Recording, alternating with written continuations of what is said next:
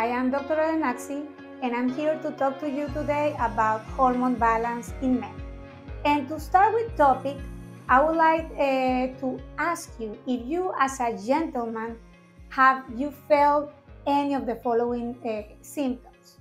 One of them is feeling fatigue and low energy, needing to have a nap after you have your lunch, or you have been feeling that you are not having as good endurance when you are doing your workouts and difficulty developing muscle mass despite having to do so many weights or exercising more, or having stubborn belly fat and man's boobs.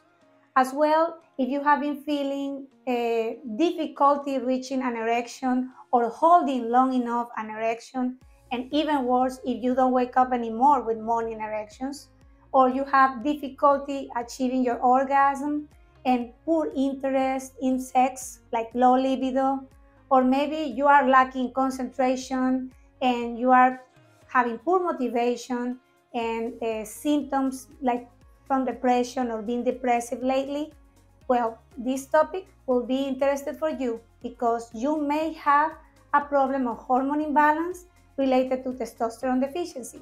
And here we're going to address it and try to fix it. Now, what are the factors inducing this uh, hormone imbalance in men due to testosterone deficiency? Well, uh, to start with, uh, testosterone is the predominant sexual hormone in males and is, it is produced predominantly in the testicles. It influences the sperm production, the erections, as well as the development of the secondary sexual characters in boys, like the change in the boys and also the hair growth. But not just that, testosterone influences several organs in your body, including the bone, the muscle, the skin, the brain, and the prostate. Of course, besides the testosterone, men also have estrogen in their system. Of course, not as much as women we have, but uh, estrogen is a factor that needs to be on consideration because as a man, you don't want to have neither too little, neither too much, because that could be in problems too. The issue starts when uh, your testosterone concentration starts to decrease. And in very few cases could be because of a testicular injury, but uh, the real problem comes with these modern times that they have several factors inducing hormone uh, issues and uh, distortion in your system.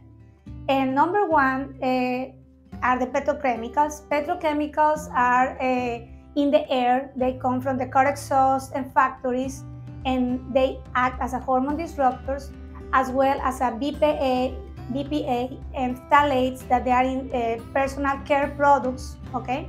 Number two, we have also the contamination in the food by xenoestrogens, uh, phytoestrogens, I would say, that they are coming from excessive uh, soy protein that is in several products, as well as poor dietary choices when we eat too much processed carbs that they induce a decrease in the free concentration of testosterone, as well as a very poor uh, quantity of healthy fats that they are important for the production for the testosterone and the steroid hormones. And for sure, the contamination by pesticides and antibiotics and uh, injected hormones in non-organic foods non-organic veggies and meats that we consume and they also affect our hormonal system.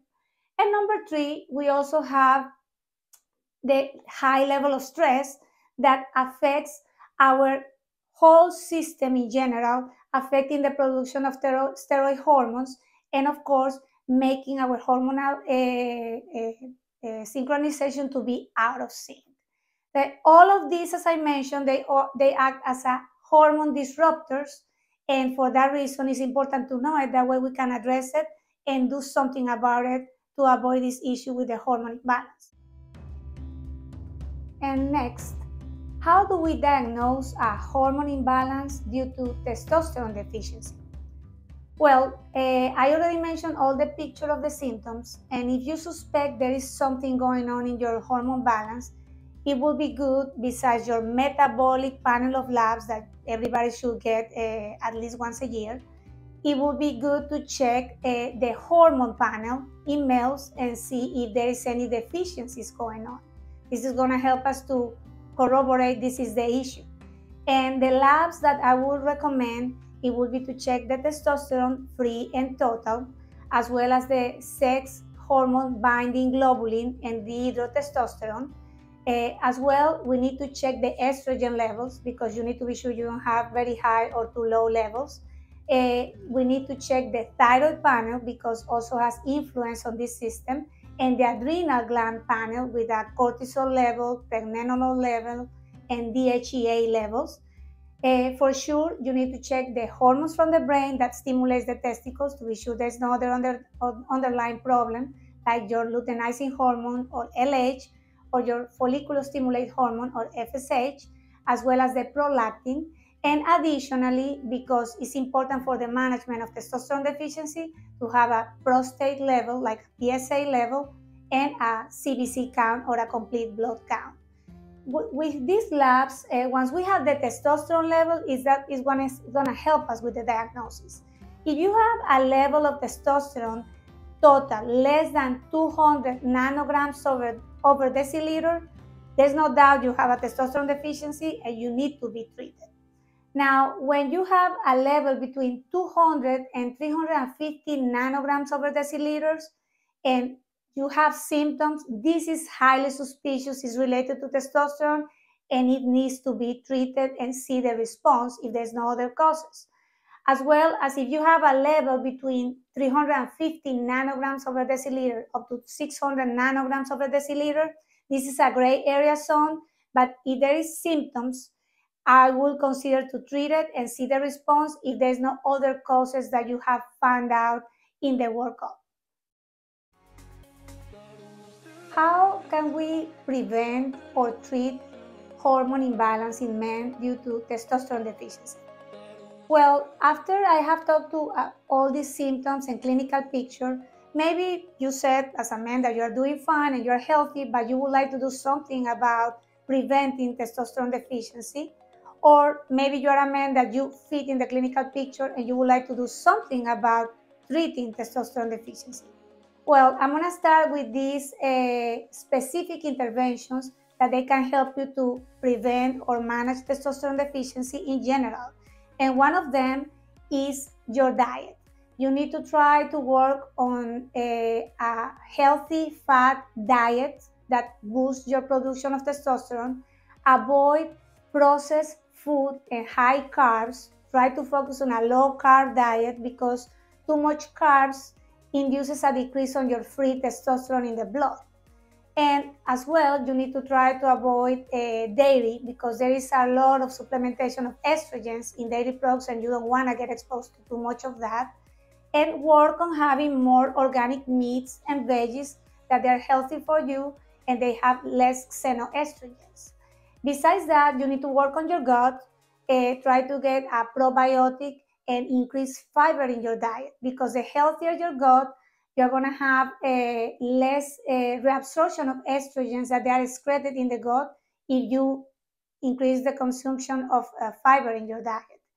And uh, for sure, you need to take care of your liver because your liver is the big lab that metabolizes hormones. And when your liver doesn't work right, that means high estrogen level in your system, and you don't want that.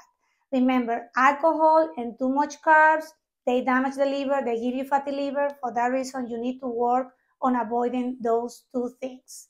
And of course, there are some supplements that they can help you with your hormone balance. Uh, one of them is DIM, diindolylmethane, that is naturally in cruciferous veggies like broccoli and cauliflower. You can take an extra supplementation with 300 milligrams uh, uh, daily and as well vitamin D because vitamin D works in all the cellular processes. We really need to have it well replaced and we don't get enough sunlight as we supposed to. And for sure, if you have all these interventions done, you get tested and you have low testosterone, you should get treatment because testosterone is going to help you to get rid of all those bad symptoms. It's to help you in your overall health. And of course, you're to feel much better. And why not to check it and feel better? Well, Thank you for listening to me, and I hope this has been helpful for you. Uh, this is Dr. Elenaxi, and blessings to your heart. See you soon. Bye.